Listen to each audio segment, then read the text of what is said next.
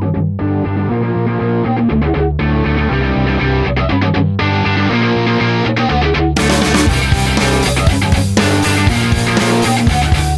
节目由卧草、国会无双、公民学院、市长给问吗？总统给问吗？立委出任务所赞助提供。各位观众朋友，大家好，欢迎收看卧草国会测试机。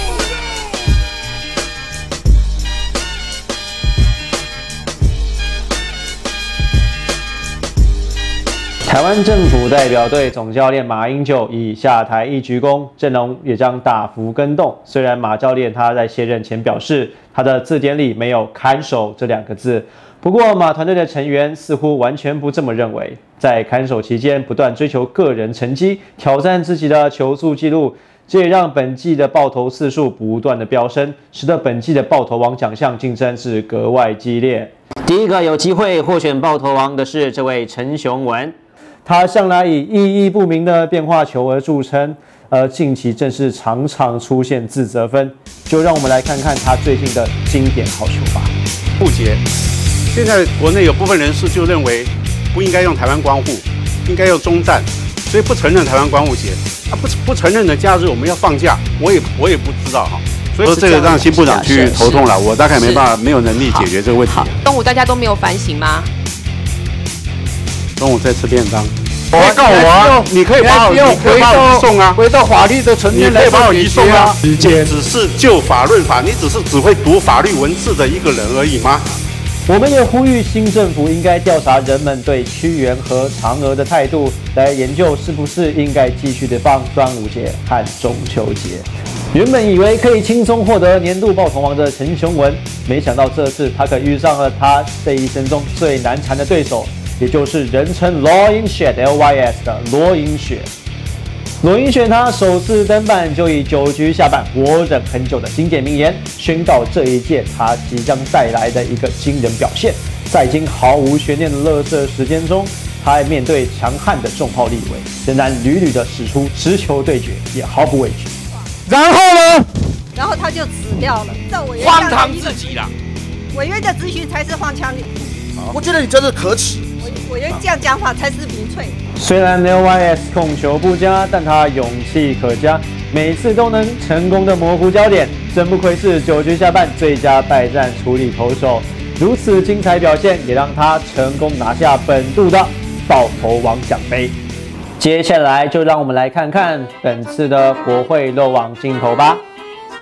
林维洲委员眼见 LIS 挡不住他党立委的强力攻势，提案要求终止质询，却被辜立雄委员彻底压制。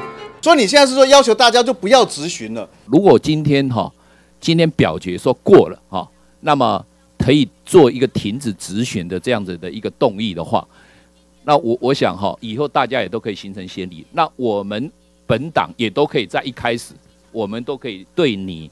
林维洲委员召集的会议，我们就在一开始咨询说，我们请求停止这一个咨询，然后我们表决，今天就不要再玩下去了。如果论人数了哈，我讲的坦白一点啦，论人数哈，我们绝对不会比你们差了。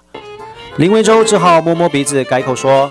呃，你讲的也蛮有道理的哦。啊，国昌兄刚刚讲的也有道理。复辟复辟，傻傻分不清楚，坚决反对促进转型正义条例通过的中国国民党立委，为了应付民进党的突袭法案审查，连选字都来不及选，就做了海报上了战场。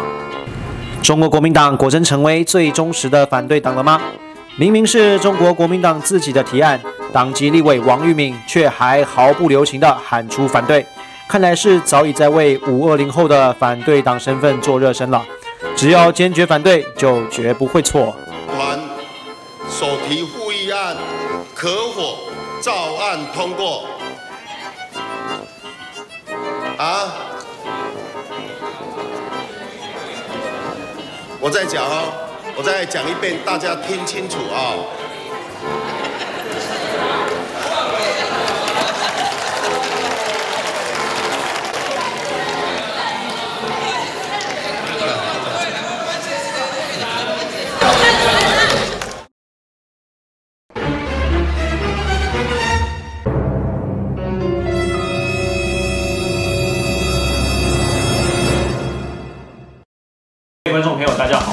看《卧槽不会测速机》，我是主持人洪国军，而这位是我们的共同主持人。接下来就让我们来看看本次的国会漏网镜头吧。